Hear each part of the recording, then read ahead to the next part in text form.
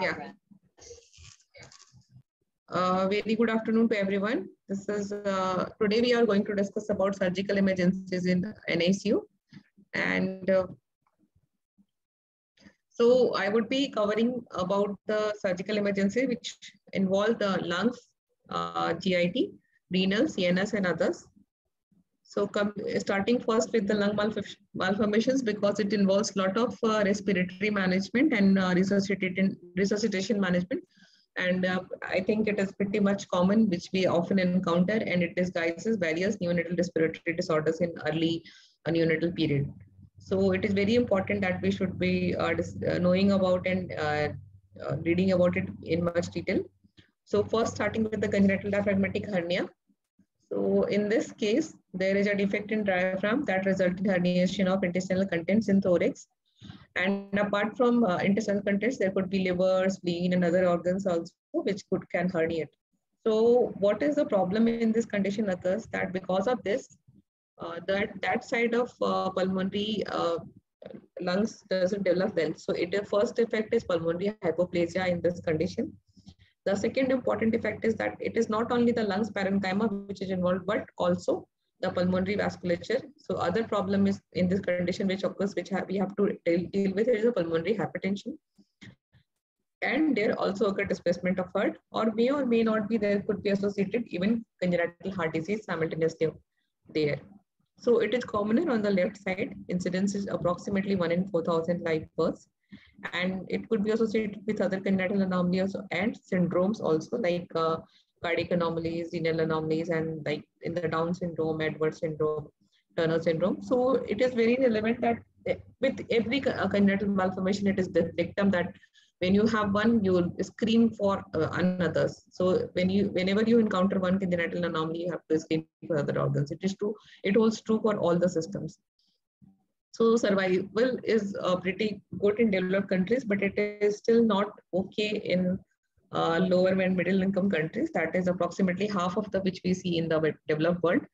So uh, often it is because of the non-availability of uh, ECMOs and uh, pulmonary vasodilator therapy in every center. So uh, it is uh, circumscribed to only a few tertiary centers. And even in the uh, survivors, morbidity is, is very high and we will discussing about it. So the anatomical types include 85% uh, on the left side and 13% on the right side. So mostly they are posterior. There could be a, small percentage of anterior hernia also. So uh, the problem which, which arises because of the CDH is because of the pulmonary hyperplasia, cardiac dysfunction, pulmonary hypertension. So it is very imperative that a baby should be comprehensively evaluated for all these three because if we only focus on the uh, alveolar or pulmonary management and uh, bypassing the cardiac dysfunction not taking care of pulmonary hypertension, the BP is not going to improve.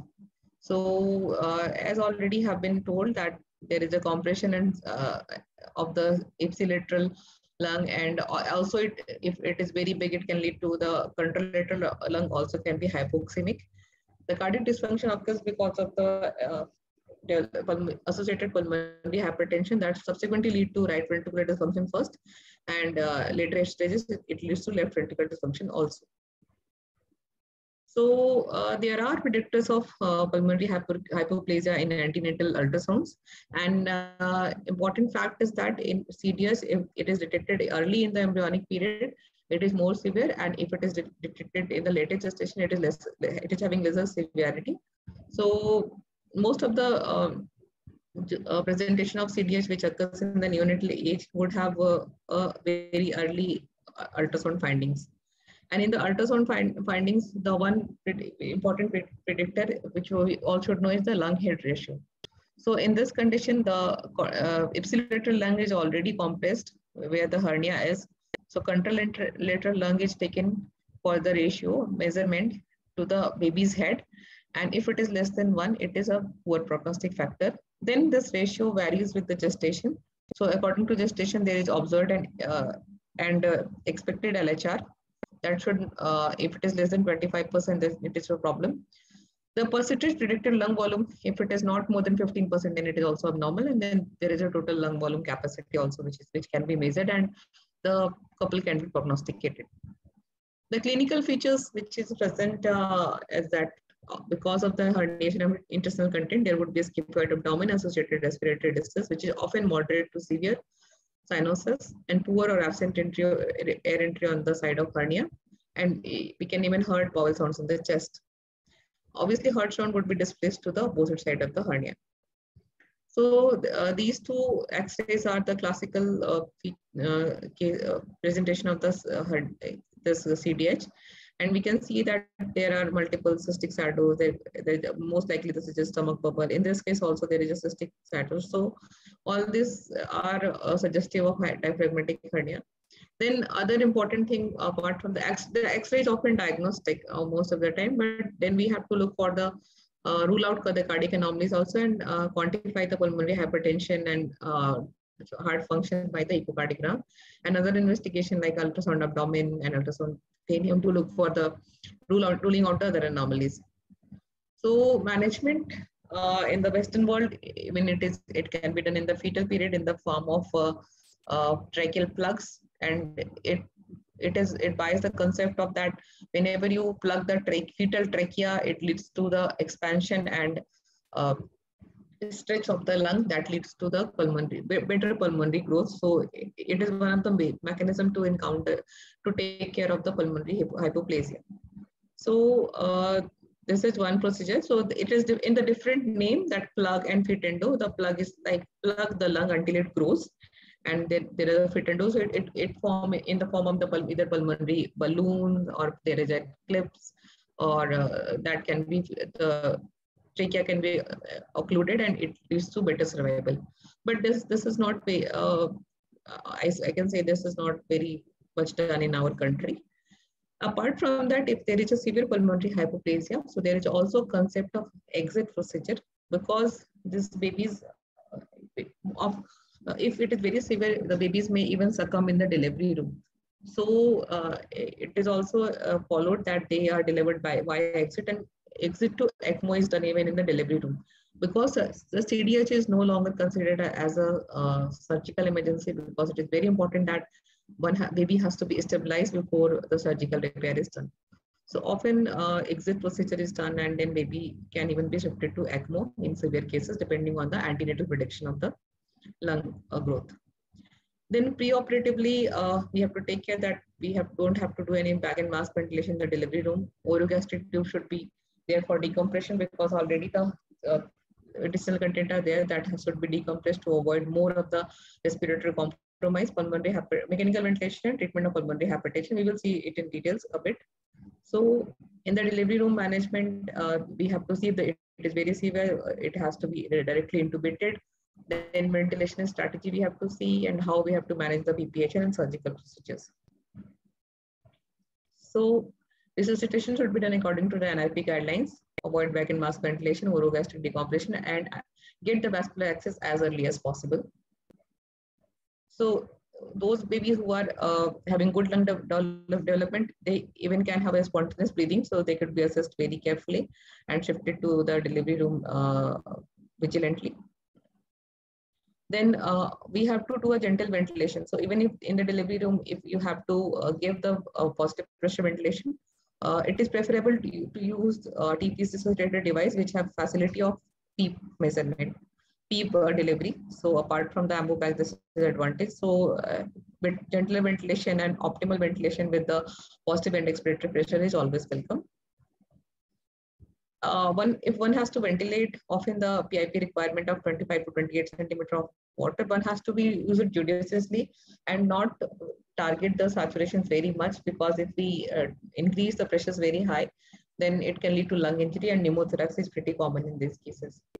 Tidal volume of 4 to 6 ml per kg, P of 4 to 6, and SpO2, uh, FiO2 as per guided SpO2, rate of 40 to 60 and flow uh, 5 to 7 it is important to understand that in the cases of CDH, often in the first three to four hours, your saturation, free saturation may be as low as 70%. And uh, if overall baby is looking uh, good for fish, that should be acceptable. And one should not do very overzealous ventilation and, and be very careful to take care of both respiratory and hemodynamic stabilities simultaneously because if we try to overventilate at this period, maybe uh, may not transition well and cardiac dysfunction starts and it subsequently worsens. So uh, over and above, once the baby has been stabilized within six to eight hours and uh, the other 12 hours. In severe cases, often uh, your if, if, your saturations are not maintaining and your requirement are very high, if you have reached your uh, high pressure on the conventional ventilation, HF high frequency ventilation is a rescue therapy and it works uh, well in CDH. Uh, then these BP should be sedated properly uh, with the fentanyl uh, opioid anesthesia, but neuromuscular blocking should be avoided because it leads to a lot of uh, lung fluid retention and that could be detrimental for the ventilation. Then uh, in the pre-surgery stabilization, uh, surfactant has been tried in various trials and it has not been shown to uh, improve any survival. So surfactant use should be justified and customized as per gestation rather than using it in uh, all cases universally. Then coming to the pulmonary vasodilator therapy. So specific pulmonary vasodilator, we all know that it is inhaled nitric oxide and uh, it is something which has worked very well in various uh, registries of CDH patients. So if the oxygenation index is more than 20 or higher, one has to start the INO at 20 ppm and continue with as per protocol. Then uh, so definitive management is surgical. So once the baby has been established, after, after, mostly after 48 to 72 hours, they are taken for the surgery and it can be done either via thorax or abdomen. Even laparoscopic surgeries are being tried these days and uh, closure of defect is done. If it is large, then mesh can be needed and post-operative care requires ventilation, nutrition and supportive care. The long-term uh, follow-up is uh, beyond the purview of this presentation because we have to discuss a lot of uh, emergencies. So I will be briefly discussing the relevant point. Coming to the next surgical uh, emergency is a congenital lobar emphysema. And this, this, this uh, disease is very, this malformation is very important uh, to identify and we should look for what is the problem because it is very frequently misdiagnosed as a pneumothorax. So what happens in the congenital lobar emphysema? There is a malformation in the bronchial cartilage and that is a collapsible cartilage. So it leads to air trapping of the ipsilateral lung and one of the lobe of the lung enlarges very uh, high and it becomes emphysematous leading to the to the hyperlucent shadow and uh, it often mimics a, a, case of pneumothorax. So it can be lo lobar, regional or segmental. It usually affects upper and middle lobes on the right and uh, upper lobe on the left. So clinical presentation would be in the form of the respiratory distress decreased air entry on the affected side, dis uh, displaced cardiac impulse to the opposite side, and X-ray is often diagnostic, but CT may be needed in some cases in, in case of confusion. So management remains the respiratory support and surgical lobectomy of the emphysematous lung.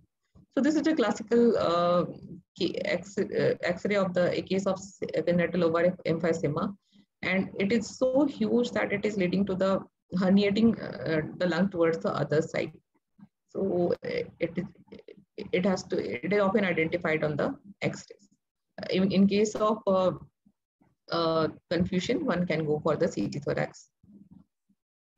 Next malformation is, is the congenital pulmonary airway malformation and congenital cystic uh, malformation. So previously it was uh, taken as a CCAM, but now it is told as a CPAM, which is a new uh, terminology. So in this case, there is a maldevelopment of a small airways and lung parenchymas, and often the the bronchial and alveolar structures uh, is translated into the cystic and non-cystic forms. So it is often uh, another one of the cystic uh, differential diagnosis of the cystic sidos in the lung, and it is divided into the uh, five types, starting from the type zero. And uh, simpler classification is from the in the form of macrocystic or microcystic form. Prognosis is worse in case of large cystic masses associated with the mediastinal cyst or polyhydramnios and pulmonary hypoplasia. It can often uh, even present as hydrops fetalis. So clinical presentation could be asymptomatic or respiratory distress. And uh, in case of uh, respiratory distress, one has to go for immediate resection of the symptomatic mass. So uh, it, can often uh, recur and uh, if not taken care at suppose in asymptomatic cases, if, if one wait for a longer time, there is increased risk of infection malignancy. So uh, in this X-ray, there, there are small, small uh, cystic shadows in this uh, left side of the lung and with the displacement of the heart. And this is a case of CPAM. So uh, the presentation is often variable in cases of CPAM, like CDH would often be symptomatic, C CLA would often be symptomatic. But CPAM cases may remain asymptomatic and in some cases the antenatal diagnosis there and baby is born without symptoms. But then these cases has to be followed up very carefully and parent has to be counseled regarding that, that in case of any uh, respiratory embarrassment, they have to rush to the hospital immediately. Another one is the bronchopulmonary sequestration. So as the name suggests, a part of the bronchus and lung sequestered to the, uh, apart from the normal lung area. So what it is, it is a, a mass of non-functional lung tissue that is not connected to the tracheobronchial tree and most important feature is that it receives its blood supply from one or more anal systemic arteries, not from the pulmonary vasculatures. So it could be either in the thorax that is called as intralobar or extralobar, depending on the whether it is inside or outside the pleural lining. And mostly it is asymptomatic in the neonatal period, but it may present as a mild cyanosis and respiratory distress if the lesion is large if not taken care and not identified early, this sequestrated lung may uh, be, get infected or uh, may present with a unilateral effusion or may even has presented with the hemoptysis in the adult cases. So uh, chest X-ray may be normal or it may reveal a triangular sh shadow. So in case of suspicious shadow, when one can not, not attribute it to the pneumonia or uh, associated systematic systemic signs, one should can go for the uh, CT thorax to get the information. So again, the uh, treatment is surgical removal. So we would see in the radiology, this is a triangular kind of shadow in this X-ray. So one cannot be very sure that it is a sequestration for the diagnosis. We have to go for the CT. It could be a pneumonic patch also. If the baby is presenting with the fever and systemic signs, you can say that it is a, it is a patch of pneumonia. But this is the same X-ray and this is the CT of the same patients. It is, you can see this is a sequestrated part. And once the angiography is done, you can see that supply is coming from the aorta. And it is a huge vessel which is uh, supplying this sequestrated part. So in this condition, CT is very important and um, uh, CT angio is very important to identify the blood supply because often when a uh, surgeon is in, doing the surgery, they have to ligate this vessel and, sometimes this vessel is very big so it has to be taken care very uh, carefully so that uh, bleeding is not uh, it, it not comes as a catastrophe. Now coming to the gastrointestinal emergencies. So coming to the tracheoesophageal fistula with esophageal atresia. This is something which all the neonatologists would have seen sometimes or multiple times. And uh, we this is something which is not a gastrointestinal problem, but also respiratory problem because uh, airway and uh, intestinal upper part is developed together. And uh, if there is a problem of esophageal atresia with fistula, there would simultaneously would be having problem of the uh, lungs also. So these cases requires uh, very uh, efficient uh, management, pre-operative also and uh, supportive management also. So 85% of esophageal atresia have tracheoesophageal fistula. Again, incidence is uh, pretty higher than the other lung malformations. Clinical presentation includes absent stomach bubble in the fetus or polyhydramnios, frothing from the mouth after delivery when the baby is attempted to uh, feed. Uh, careful examination in the delivery room even can identify the baby if someone tries to pass the OG tube in the uh, delivery room. Vomitings, respiratory distress, abdominal distension, or spherical abdomen in case of isolated esophageal atresia, and obviously difficulty and inability to pass um, a large size orogastric tube in the baby. A small size tube may even pass the fistula in uh, some cases. So uh, if, if someone has to diagnose the esophageal atresia, one should try to pass a bigger bore or uh, OG tube and get the X-ray on that only. So investigation, so X-ray showing coiling of Pocci tube. And uh, as I said that these anomalies again has a very high likelihood of the congenital heart diseases. So echo should be done. And echo is also very important because uh, surgical approach is important whether there is aberrant uh, right-sided uh, aortic arch or other problems. So they have to, a surgeon has to go through the thorax. So it, whether they have to go from the left side or right side, as it, that is also uh, getting helped by the echo. And again, investigation to rule out other associated anomalies that we all know that there is a VACTERL and VATER malformation sequence. So in uh, those should also be ruled out and because it has to be taken care and uh, uh, parent has to also to be counseled accordingly and if there is associated anomaly, they should also be handled. So uh, this is a diagrammatic representation. The first one is the uh, the most common one. This is a Gross classification, which is the most common one. So in this case, uh, there is a atresia with the fistula, and this is the pure esophageal atresia. And then uh, you have H-type fistula, then you have both side fistula. So uh, this is the X-ray of esophageal atresia where you can see a faint, this is a, I, I don't know whether it is visible very well on the projection or not, but this is a coiling of the uh, OG tube in the uh, upper part of the neck. So this is suggestive of esophageal atresia. So preoperative management includes um, a Replogle uh, catheter for the suction of the upper pouch, which gets intermittently pulled up by the saliva of the baby. And this saliva again gets uh, aspirated to the chest and further it leads to the compromise of the respiration. So it has to be taken care very uh, efficiently. If someone doesn't have the Replogle tube, then it can be customized and made by the putting a small OG tube with the suction catheter. And the suction pressure should be low in these cases, approximately 20 to 30, because if you keep it very high, the mucosa would be sucked out then baby should be in the prone position. Nursing is uh, relevant to avoid the aspirations, respiratory support, mechanical ventilation as per associated respiratory distress quantification, supportive management of the fluid and electrolytes before surgery. Surgical man management include ligation of fistula and end-to-end -end anastomosis of the short segmented esophageal atresia. If it is a long, long segmented esophageal atresia, one has to go for the proximal esophagostomy with gastrostomy and definitive repair later. The complications include anastomotic leak and mediastinitis.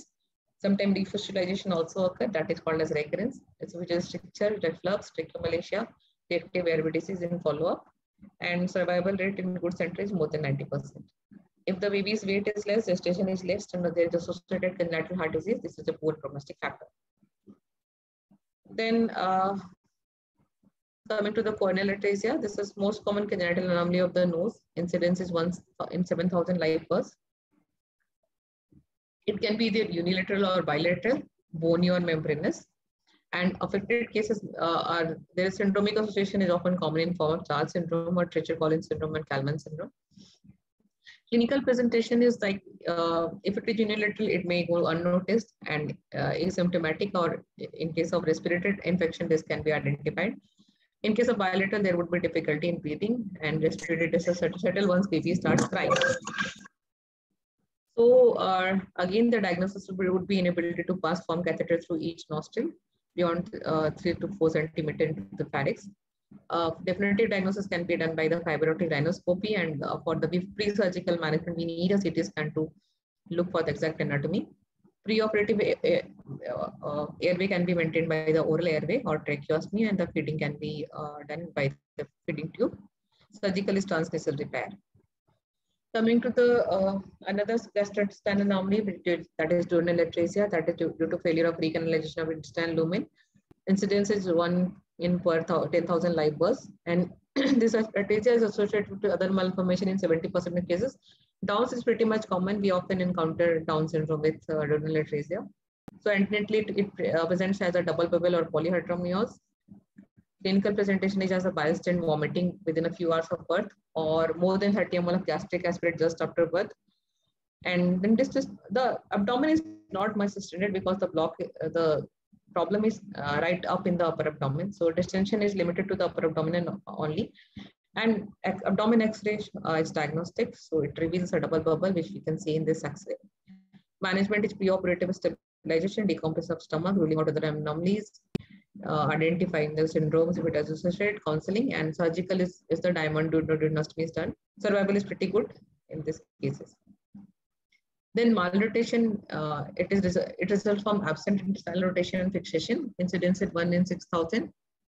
And uh, because of the inadequate mesenteric attachment, the base of the mesentery is pretty uh, narrow and it leads to the um, intestinal mortality very high that can lead to entanglement and uh, volvulus of the intestine. Other important fact is that the relation of the superior mesenteric artery and superior uh, mesenteric vein is opposite in this case.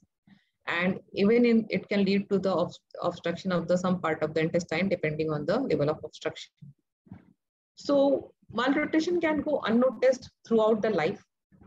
And sometimes uh, um, if it is diagnosed, uh, if it, it presents with the volvulus, it leads to the bilious and non-bilious emitting and feature of intestinal obstruction. In case of uh, volvulus and ischemia, even gangrene and perforation is very uh, much common. So it is often said that if uh, surgeon has a very high suspicion of uh, volvulus, it can even uh, baby has to be taken in the midnight for the surgery. So it is very uh, catastrophic once baby goes into the volvulus with the uh, gangrene presentation.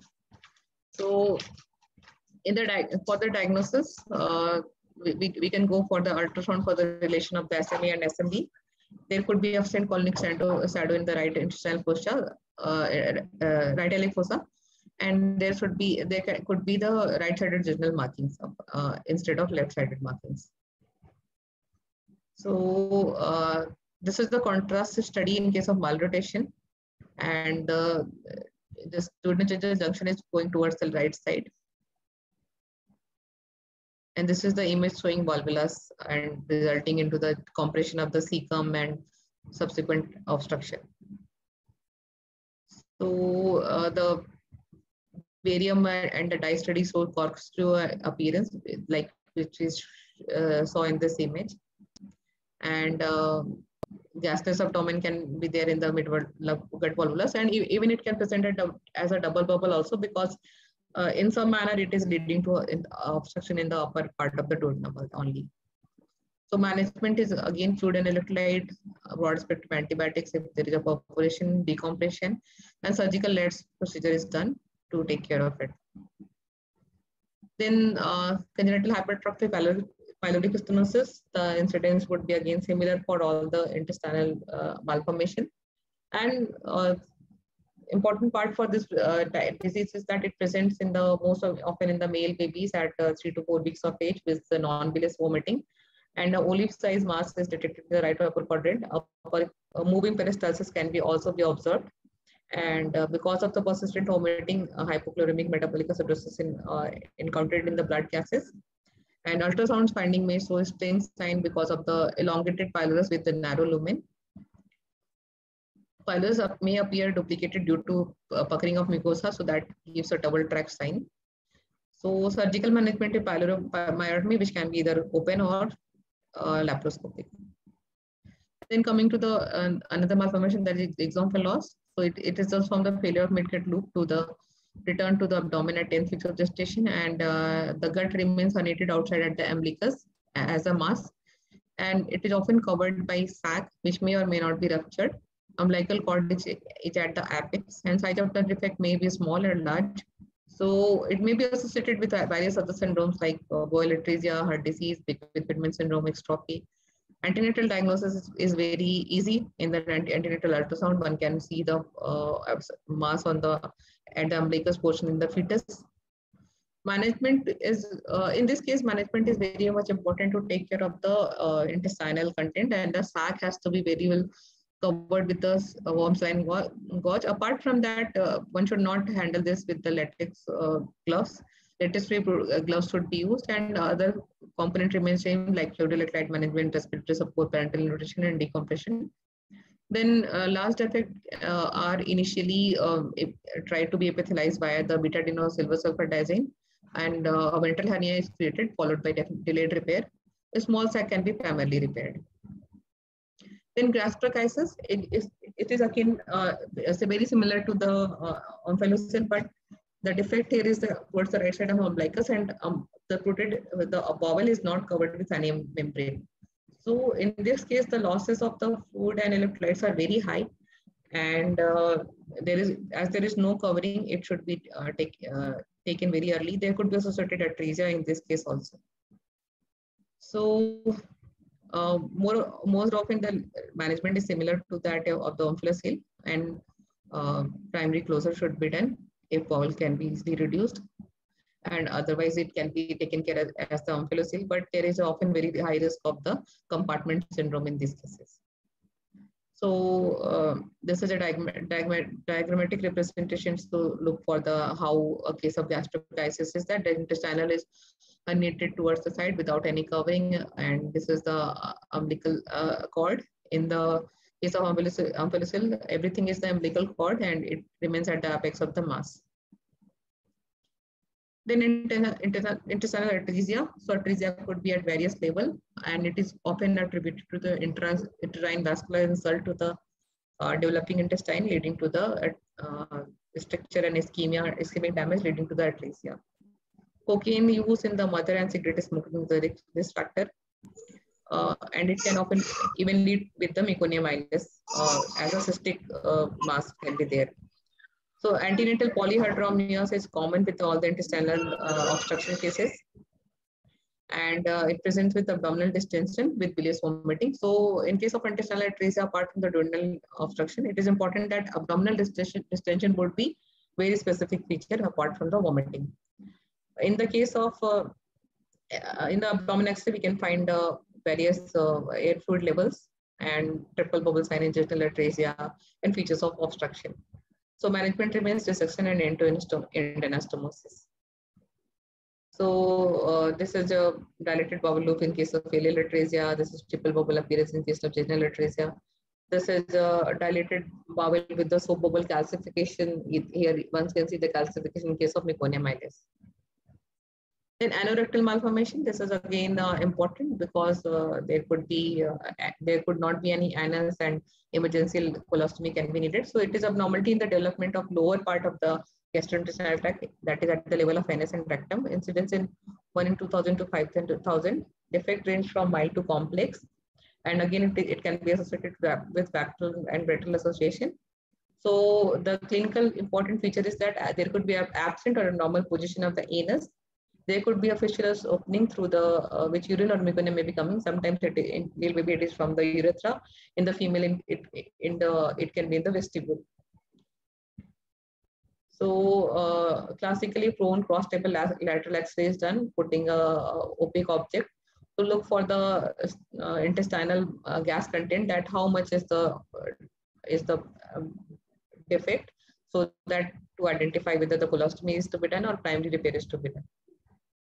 So abdominal X-ray, prone cross-table X-ray should be done at 12 24 hours age. Not very early X-ray would often not give a clue because it takes time for the gases to reach the uh, colon and rectum. So one should not be doing X-ray very early.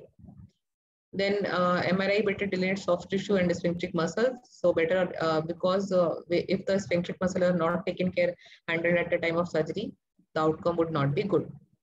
So management again uh, remains the first uh, fluid electrolytes and respiratory support and such posterior sagittal anorectal plasty is the commonest surgical repair which is performed.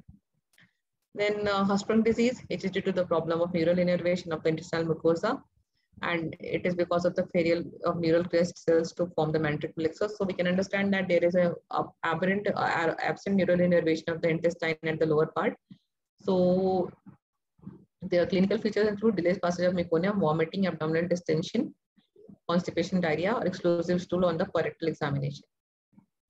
Diagnosis is by suction biopsy of the, of the rectal mucosa with histology, showing lack of ganglionic nerve cells or hypertrophy nerve ending on the ACH, acetylcholine staining. Barium enema would show narrowed distal colon with proximal dilatation. Abdominal X-ray show features of the large wall obstruction. Management remains same as a fluid light bowel decompression. And the, uh, for the definitive surgical management is the pull through procedure, which can be done in the acute if the baby is having significant uh, problem with the constipation and stool passage. Otherwise, repeated decompression are done and the surgical repair even may be done at the later stages. So this is a barium enema with the transition zone and uh, narrow aganglionic zone with the dilated sigmoid colon and uh, biopsy of the rectal mucosa shows hypertrophic nerve endings, but no ganglion cells. Then hepatobiliary, so biliary atresia, uh, again, it is a kind of emergency because uh, if it is not uh, identified, diagnosed, and referred at appropriate center within time, the lifelong morbidity remains. And uh, even with the uh, early surgical repair, there are problems. So one, we all should identify such cases early and uh, uh investigate and refer it early to the appropriate center. So there is obliteration or discontinuity of the extrahepatic biliary atresia resulting to the obstruction to the bile flow and obstructive jaundice or con conjugated jaundice the, is the presentation. There could be associated anomalies. Clinical presentation is jaundice, clay colored stool and hepatosplenomegaly. Ultrasound showed triangular cord sign. HIDA scan is there for the excretion. Liver biopsy is, uh, is informative and peroperative cholangiogram is diagnostic. Then management is a preoperative nutrition and supplementation of fat-soluble vitamins. Surgical procedure remains like botulinum and liver transplantation in the latter life. So out of all uh, biliary cases, only 15% uh, would be uh, doing well with the port interest interest me and uh, almost 85% will require transplantation later in life. Then a few about renal system. So first is the PUV. It is, I would say, most common renal malformation. So there is an obstructive membrane fold within the mucosa posterior. Most common cause of obstructive uropathy and urinary tract obstruction. Incidence is 1 in 5,000 to 8,000. There are three types and the classification is called as young classification. Clinical picture would include uh, ascites in the fetus, enlarged bladder and kidneys, poor urinary stream, decreased urine output, and even respiratory distress due to associated pulmonary hypoplasia in severe cases.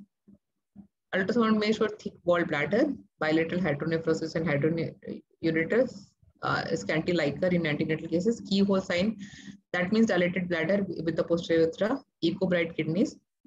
Postnatal ultrasound showed again the dilated urinary system uh, above the posterior urethra and uh, MCU that is voiding cystourethrogram uh, would, would again be important to look for the associated reflux and more delineation of the renal tract.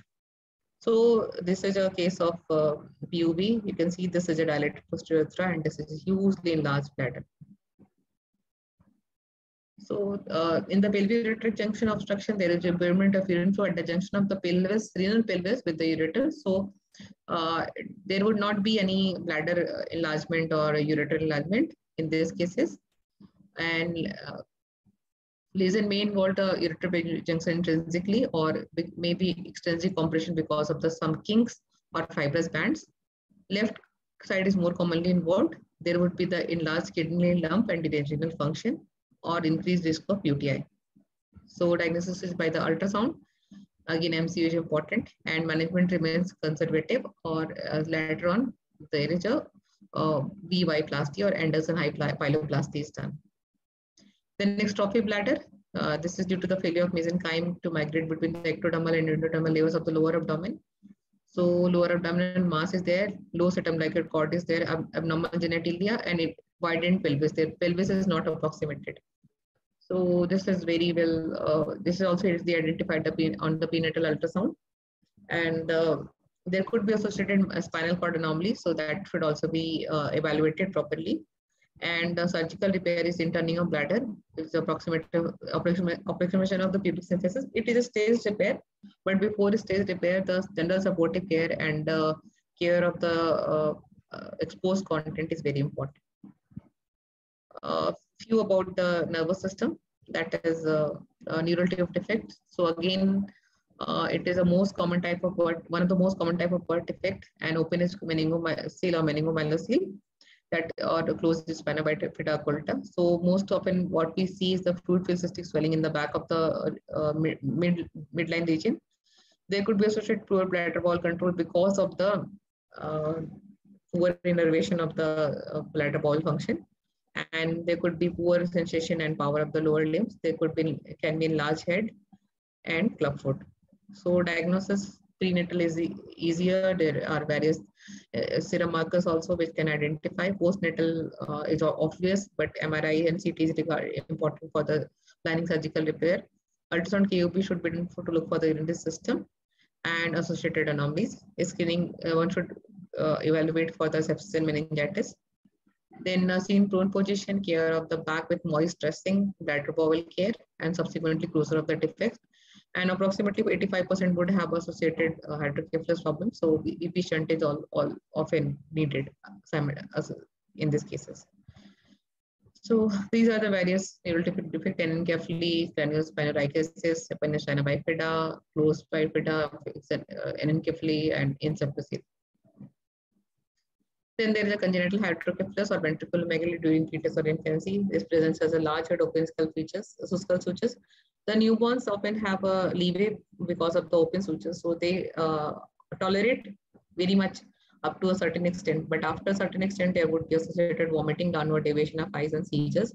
So in severe cases of hydrocephalus, baby will be symptomatic and uh, diagnosis is uh, by transcranial ultrasound. Before the definitive procedure, we have to go for the CT or MRI a few about oral cavity, nose and trachea.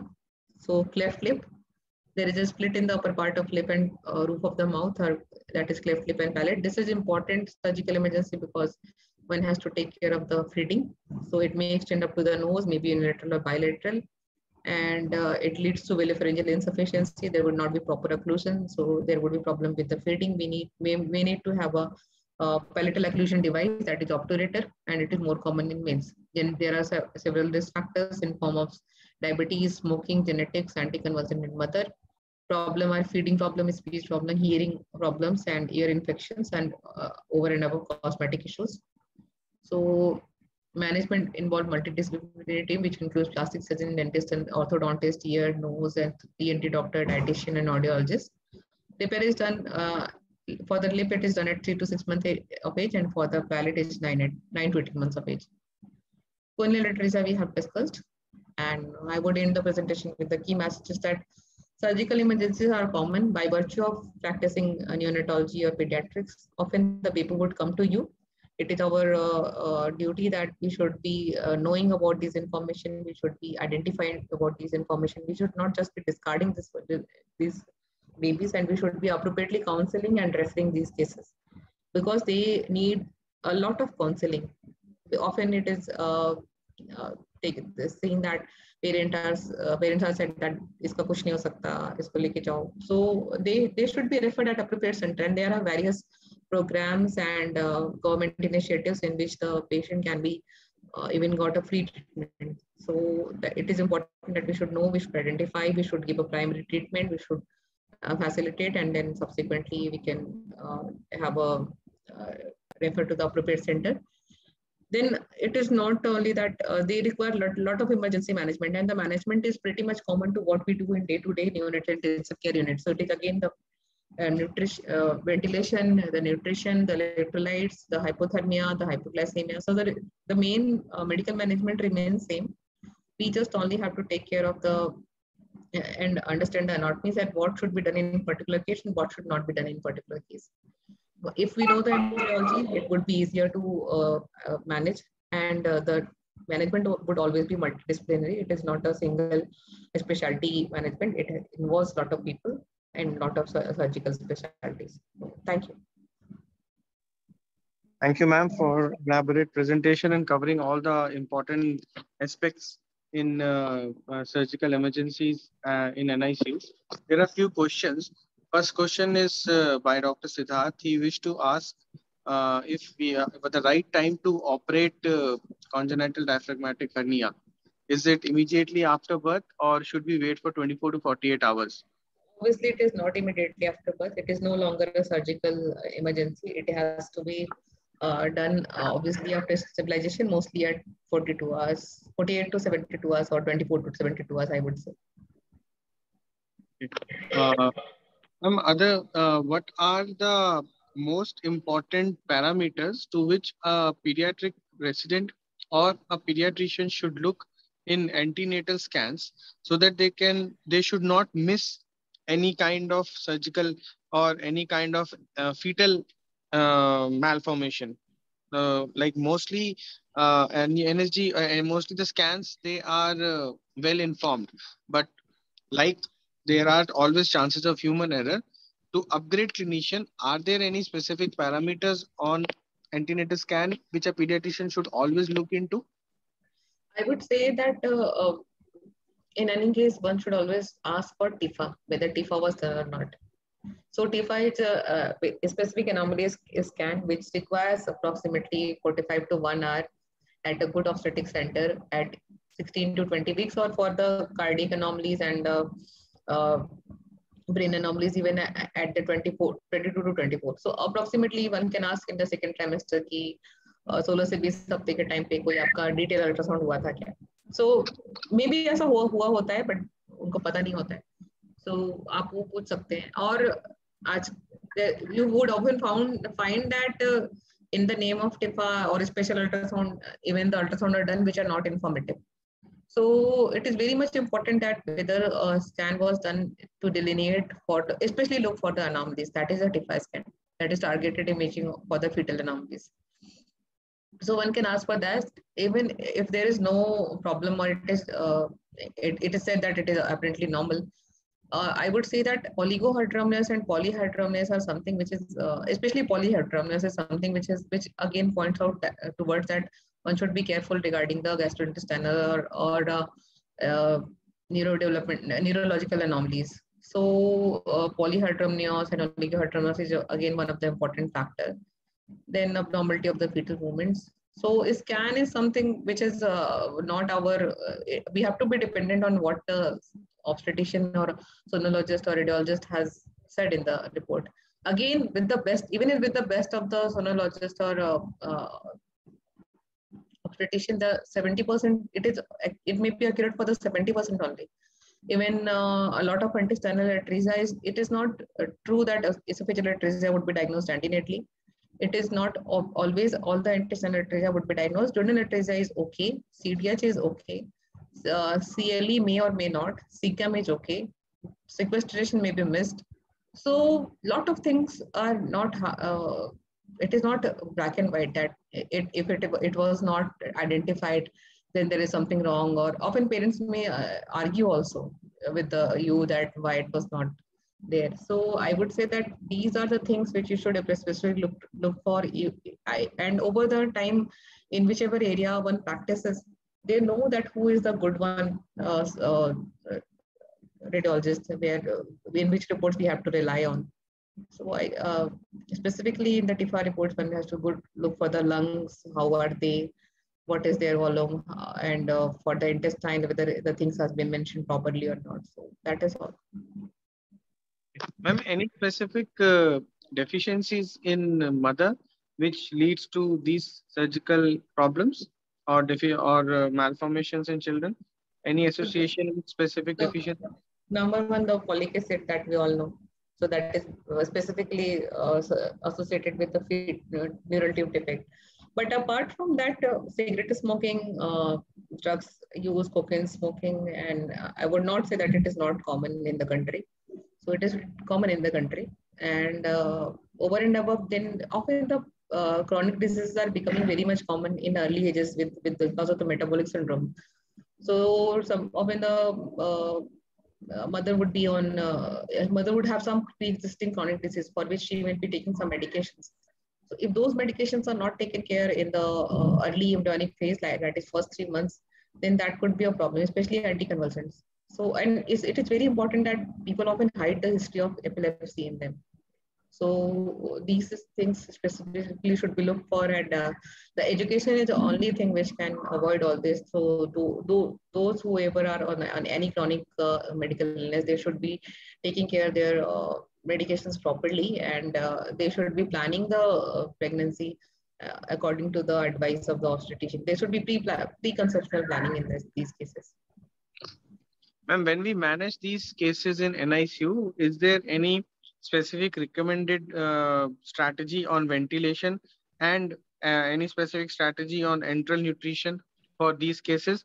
For sake of an example, when we manage a case of tracheoesophageal fistula or esophageal atresia, um, how do we ventilate them? And uh, similarly, for such cases, when we start them on feeding, what should be our uh, uh, timeline to move from TPN to enteral or how do we decide that? Uh, esophageal atresia uh, may, may get difficult with the ventilation perioperatively because with the fistula, there occurs some leak. So that could lead to the uh, uh, distension of the abdomen. So I would say that one should use proper size uh, ET tube or maybe even cuffed ET tube. Number one. Number two, ventilation strategy would be depending on the injury to the lungs. If a baby of esophageal atresia would be coming to you after much of handling and 24 to 48 hours, they may already be having a lot of aspiration of saliva and uh, even may feeds also if it has been tried.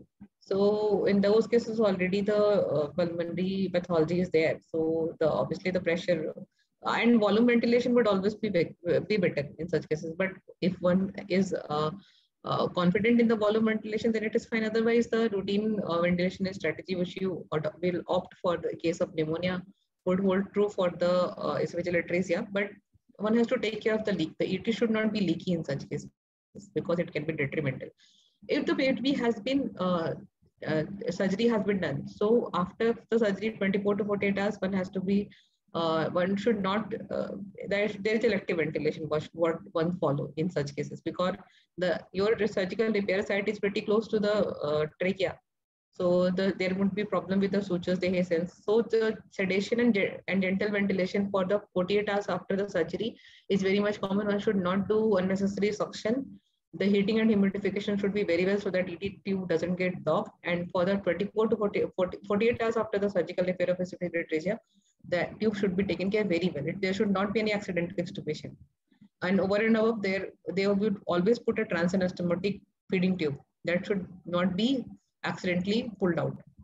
So uh, it is often a common practice that they would fix it very properly. The surgeon is very uh, careful that sometimes they even suture to the nose also so that it should not um, get accidentally dislodged. And feeding uh, as early as baby is hemodynamically stable, we often start feed after 48 hours by the transanastomotic tube. Uh, and uh, that is minimal enteral nutrition. By four to five days post-operative phase, we uh, advance it very fast that is enteral nutrition. For the uh, parenteral nutrition, again, the requirement, what we use for generally sick babies as per term and preterm, that would be uh, protein of 2.5 to 3, uh, lipid of uh, 2 to 2.5 and GIR of 6 to 8 that we follow. So obviously for the day one, you would not be able to give that much. So uh, incremental kind of strategy is good. Uh, when we talk about TPN, ma'am, in such cases, we start with the uh, amino acid based formulas are followed by lipid. So what should be our uh, what should be our initial settings for starting? Uh, what should be our initial um, load which we which we think can tolerate this these children can tolerate? I mean, you are talking about the parental amino acid. Yeah, parenteral nutrition. Yes, ma'am. They can tolerate 1.5 gram per kg on day one very well. Okay. Okay. Fine, ma'am. Uh, it was a it was again a pleasure to have you and uh, teach us. And the way you have, uh, you know, in one hour long session, you have covered all the all the very important surgical and uh, other kind of neonatal emergencies. And with these questions, which I have put, these are the questions which are being shared by general pediatricians who who have been managing such cases in peripheries. And uh, they usually wanted a strategy to understand how they can transport these children, which usually are being referred to uh, tertiary care centers. To start these children on TPN is the least they can do at their setup. So is and, there any? Yeah. Yes. So uh, transport issue is very much important and often what is not good in our country is that uh, transport is not often communicated properly. So a lot of times uh, center would be especially the uh, government sector would be uh, uh, taking and uh, approaching the baby at a certain there would not be any prior communication. So number one there should be a prior communication because it is not only the NICU which has to be prepared it is also the surgical team which has to be prepared. Apart from that apart from the nutrition and hypoglycemia and hypothermia management in specific management is good for the uh, other cases. Like in the case of cdh it is uh, OG is important in case of uh, decompression is important in case of compulsory uh, the care of the wound is important in case of mmc baby has to be nursed laterally and in prone position that is important. So small small things. So that would be specific to the disease. And uh, of course, the parenteral nutrition and the fluids and uh, suctioning of the secretions in the case of esophageal atresia. So ongoing uh, aspiration can be avoided during the transport. So those, I again the TABC uh, temperature and hypoglycemia, if managed, the rest of the things can be taken care of anyways. And so that are the most important thing. We do get worsened because of those problems only. And uh, communication is the key. And I would say that more uh, the cases you see and uh, manage and uh, understand, the more you know. So the number of esophageal atresia you have seen, the number of CDH you have seen, the number of meningomyelocele you have seen, the number of renal atresia you have seen, you will be more knowledgeable and more experienced and competent also. Thank you, ma'am. Uh, once again, uh, on behalf of all the students and uh, giving this time from a busy schedule, it means a lot, ma'am. Thanks a lot. Thank you. Thank you so much, Nathan. Thank you. Take care. Thank you, everyone, for joining.